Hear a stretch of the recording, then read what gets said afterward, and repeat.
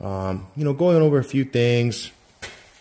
Actually, first thing I did was I, popped power valves off and just made sure that nothing was stuck and jammed up. But um, then I said, you know what? Let me go look at the carbs. So I ripped off the secondary, took off the airbox.